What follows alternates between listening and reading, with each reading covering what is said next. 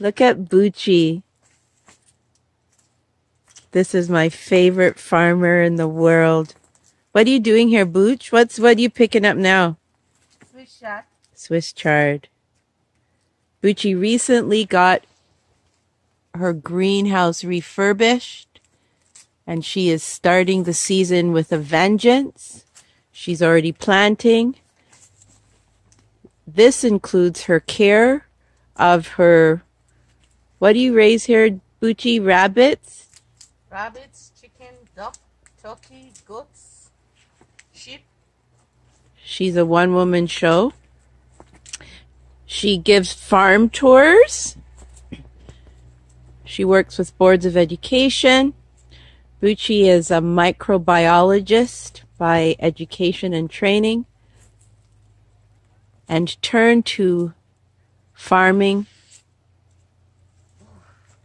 due to her professional and personal drives. She will also be starting to sell seedlings if you're looking to start your garden early. I know she looks like a beauty queen. Yeah. and I'm late to come and pick up stuff, so we have to go and pack. For Kujenga! My name is Jennifer, uh, Jennifer Ford. I uh, started the Vision Quest event management group in 2009. Um, Red Onion events uh, in 2019. Uh, they are, I would say, event management groups that are very fortunate to have uh, created uh, linkages, linkages and synergies with uh, food um, groups or food organizations. And I think that has saved um, you know, it has uh, saved me because uh, food is an essential service, and I was able to redirect um, my focus uh, from conferencing and uh, conventions somewhat to um, markets. Um, and uh, through my, I guess, personal pursuits, I think I have been led uh, to developing markets in areas that most people wouldn't want to or think it would be lucrative to set up markets. But, you know, the goal is to bring good food to good people that is affordable and culturally appropriate. Um, and um, so that's where we are now. Uh, throughout my, I guess, work, I've been fortunate to meet uh, some astounding people uh, through uh, trial, perhaps error, perhaps redirection. They have uh, found themselves uh, working for and with food, from farming to small businesses to chefs to creatives. that's where we are. And I think that is how uh, Ms. Perryman's group found um, our uh, market. Uh, the Courtyard Farmers Market is one of our brands. The Scarborough Farmers Market is another one of our brands. And uh, the uh, Vision Quest Event Management, one of my groups, we uh, developed the Courtyard Farmers Market in consort with Great West Life uh, Realty Advisors in uh, 2019. That was a workplace wellness initiative. Vision Quest Event Management also was the steward of the Malvern Farmers Market, started in 2018. Finally, we launched a pilot project under the auspice of Red Onion Events last uh, um, September through uh, October 2020, Scarborough Farmers Market. So we're working right now with the Toronto Food Policy Council, local urban farming champions such as Bucci uh, with Akachi Farms. We're also hoping to partner with Jesse from Zawadi Farms in the summer. Our, con our constant farmer, Farmer Dave, uh, Barry's Gardens from Zephyr, Ontario. Uh, so we have a farm family that we're building on uh, to create opportunities for individuals uh, in marginalized uh, areas, uh, for the most part in Toronto, to access free range, farm fresh. Um, I would say the term would be sustainably grown Ontario farm fresh produce and we are working with a number of small business partners uh, within the uh, Greater Toronto area uh, to uh, develop some products for our markets. And uh, so that's where we are. So uh, we worked with Kujenga over the past 12 weeks um, to deliver courtyard farmers market farm fresh care packages in consort with uh, Kujenga uh, to deliver uh, these uh, farm packages full of produce uh, from Akachi Farms and uh, delicious challah bread and chocolate drizzled shortbread cookies from BTR Treats to your lovely Kujenga clients.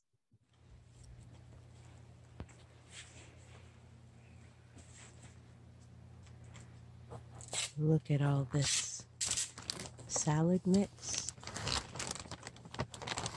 What's this, Booch? Kale, Swiss chard, and mustard green. Kale, Swiss chard, mustard greens. We have our eggs here. Beets, carrots, sweet potatoes, Look at all this. The Jenga Wellness package. Eggs. The mushrooms.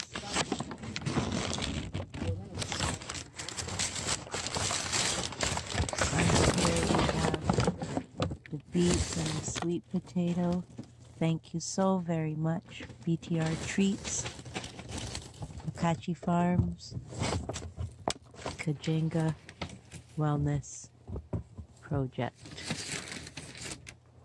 Um, so that's in a nutshell uh, what we uh, uh, tried to do. And it was, uh, um, we would uh, meet Ruben and I from BTR Treats in the morning. He would bring uh, his fresh baked goods he and his wife creates. we'd pick that up in the morning. Then we would uh, drive to the farm. We would uh, meet Bucci. We would pack and pick, throw the uh, the goodies into my van, and we would deliver uh, straight from the farm to your clients. The feedback we received was that it was greatly appreciated. Um, and I think people really enjoyed the uh, free range poultry and uh, what we were able to uh, provide during the winter months. We're here at the greenhouse. Look at these greens. Bucci, what's in here? Kale? Kale? In your in the Oh, lettuce mix, cabbage, eggs. Oh, Farmer Bucci says Swiss chard, celery stick.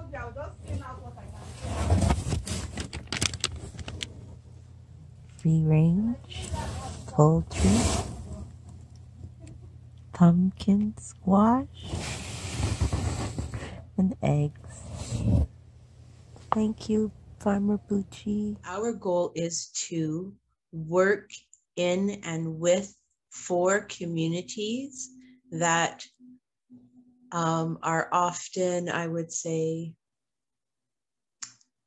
maybe set aside for socioeconomic reasons.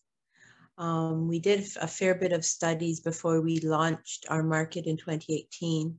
Um, and we were referring to a study by the University of Southern California where people that have um, more limited incomes are more ready, willing, and able to afford a higher ratio of their incomes towards fresh food um, because A, they would uh, tend to prepare food more, B, they have larger families, and C, um, they just know they need the nutrient dense uh, properties uh, their food or this food offers because they just don't have it in their proximity. Uh, most, uh, so we aim to set up in areas that are called food deserts. That's a key uh, reason why we set up in Malvern uh, in 2018. Um, because these neighborhoods in certain areas don't have the proximity uh, within 15 minutes walking distance to access farm fresh food or I would say, uh, you know, good uh, produce. Um, so that's our, our impetus to work with with and for and in these communities to uh, to make sure um, we're getting the food uh, to everyone equitably and affordably. Um, so it's been a bit of a challenge indeed.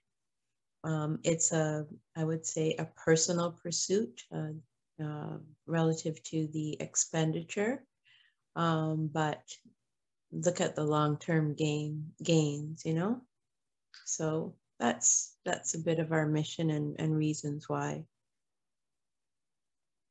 Good morning with Gabriella at the farm and Bucci's coming out of the greenhouse shortly, packing up for our Kujenga Wellness Project Courtyard Farmers Market drop off. Thank you. Fresh eggs, fresh cheese, uh-huh. fresh uh, vegetables with love from Bucci's farm. Thank you. Have a great day, my Have dear. And enjoy the healthy organic food. Thank you. And here's Bucci right now. Farmer Bucci! Thank you. Have a great week, everyone. Okay, here you go. That one, then one more box. And we are done. Thank you, Bucci. You're welcome.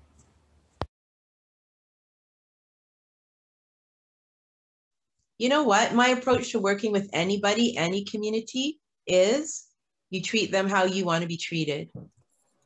The same dignities, the same expectations you have for anybody else, or you would want for yourself, you try to impart to other people and really try to understand, um, you know, where they're coming from as, as individuals, as people, and what we appreciate uh, politically and economically, uh, taking all the isms and schisms into account.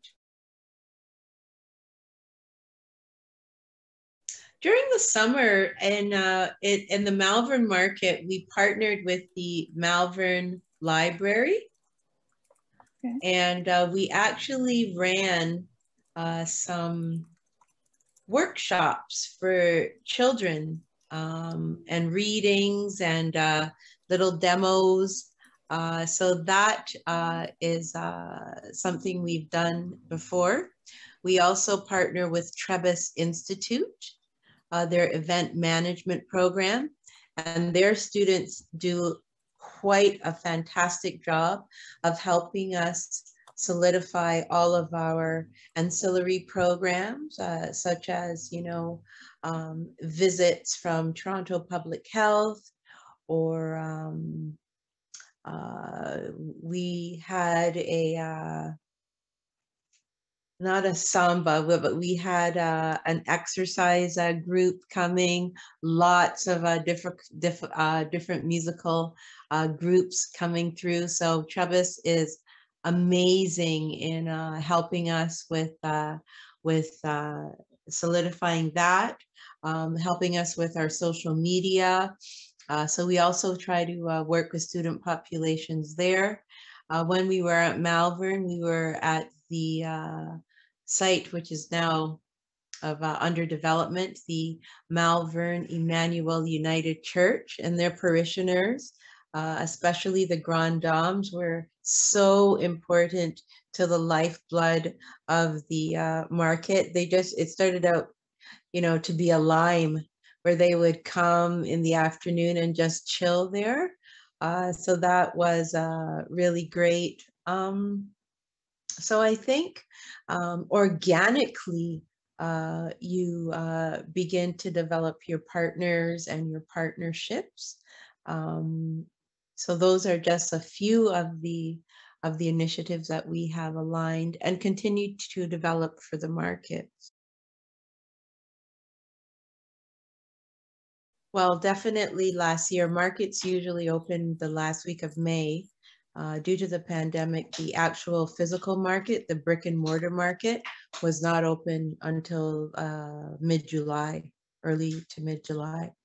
Um, but before then, this time last year, we were moving our markets, both the courtyard and Scarborough Farmers markets, to an online mode. Uh, and that worked, I would say, fairly well up until the markets actually opened in July. Then we did see quite a shift down, downward. And that showed us that the markets are very important and to be with the human animal. We're and are small. Um, we do our best work in the live, um, in the live uh, scenario, and hopefully, fingers crossed, uh, markets will open on time, the beginning of May this year. That's the aim. Uh, but definitely, I think if I, if we had, uh, you know, maybe concentrated a bit more on the online sales, uh, perhaps, but we were bolstering more our in season but then again, Kujenga found us, so we're we're doing something right, right? Good day. We are here at Akachi Farms at the Courtright Center on Pine Valley Road. This is where Farmer Bucci operates. This is her greenhouse, and we're here today to see Farmer Bucci and to pick up the Courtyard Farmers Market care package, Akachi Farms, BTR treats for our lovely clients in Durham. We're giving you an appreciation of where all of your farm fresh produce and eggs and goat cheese free range poultry comes from. And we're here to see Farmer Bucci. Where's Farmer Bucci? Stay tuned for more. Bucci, morning! So, a little bit about the team, uh, as Bucci and Ruben were not able to be with us. Um, that's the life of a farmer and a small business entrepreneur, always on the hustle. Uh, Bucci uh, is a microbiologist by education and training. Uh, she hails from Kenya. She started her farm at about, I would say, seven to 10 years ago. Uh, her farm is called Akachi Farm, A K A C H I. It's located off of Pine Valley Road in Vaughan. There she, uh, I think it's seven to 10 acre farm where she grows a host of different produce ranging from uh, stinging nettles. Sounds at Akachi farm. Everyone's chilling. Literally, it is freezing.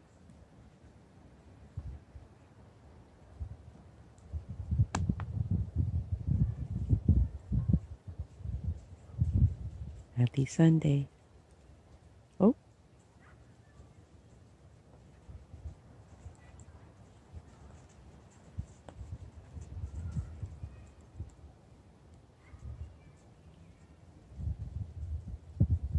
Continued blessings from Akachi Farm. Kujenga Wellness Project Pickup Day in care of Akachi Farm BTR Treats, and the Courtyard Farmers Market.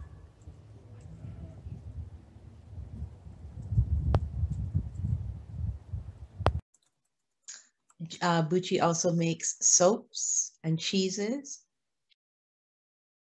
Some of our other partners, um, Ibero Farms, they are a, a, a farming family out of uh, Grimsby, Ontario.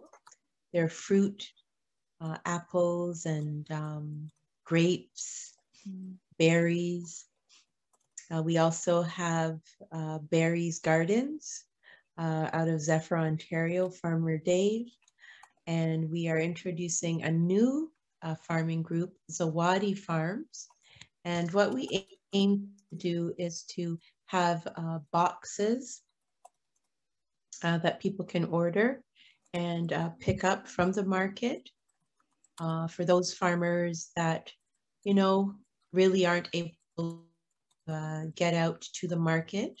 Um, so we're devising plan, we can actually still work with these small farmers, go direct farm, pick it up, the orders and bring it back for curbside pickup at the market.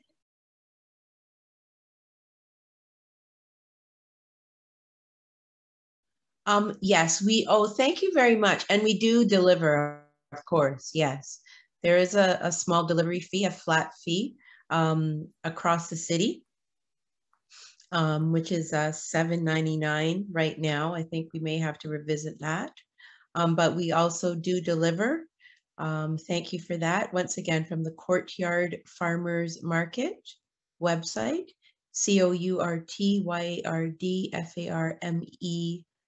C-O-U-R-T-Y-R-D-F-A-R-M-E-R-S-M-K-T.ca and Scarborough Farmers Market uh, .ca spelled out info. You can place your order there. Thank you so much for watching, and a special thanks to Jennifer for taking the time out of her day to make this community showcase happen.